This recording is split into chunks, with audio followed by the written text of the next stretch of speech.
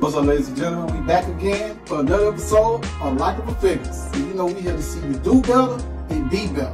And I'm your boy, Major Life. And in this episode, I'm going to be going over something that I had to battle with and I had to overcome the ups and downs of dealing with. Ups and downs, ups and downs, ups and downs of dealing with. You want to find somebody you trust preference, significant other, sibling, close friend. Find somebody you trust that you trust explaining your goals to and try to talk it over with that person.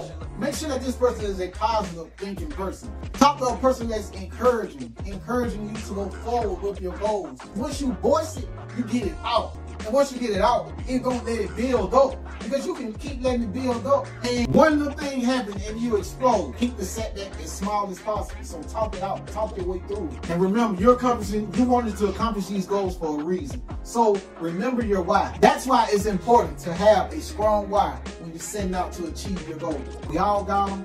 We all want them. So we all must succeed. I'm Major Walla. This is Like Likeable Figgas. I want you to like, share, subscribe. Tell your friends about Likeable Figgas. Take a second and go watch some of the other videos if you can. I hope you got something out this video. And